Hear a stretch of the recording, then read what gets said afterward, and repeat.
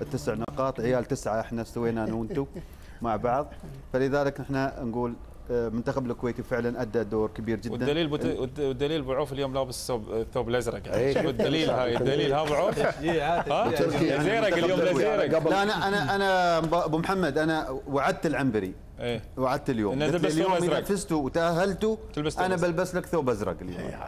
أنا وشاف وشافني الشيخ أحمد الفهد في ال- في اللوبي قبل شوية. وقال لي لو لو. لو فاز منتخب السعوديه تلبس ثوب أخضر؟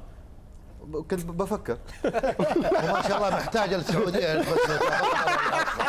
ما نبغى يلبس له ثوب أخضر يا حبيبي. أصل السعودية الحمد لله رجالها وجمهورها وشعبها يلبسوا الثياب الخضر ويحطوا علمهم على راسهم.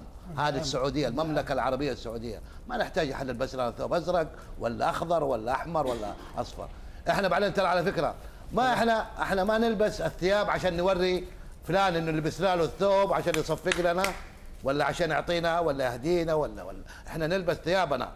السعودية هي السعودية المملكة العربية السعودية. إحنا نلبس ثيابنا ولا نحتاج أحد يلبس لنا ثياب. وكثيرين ترى إحنا زايدين الحمد لله والشكر لله بنعمة الله.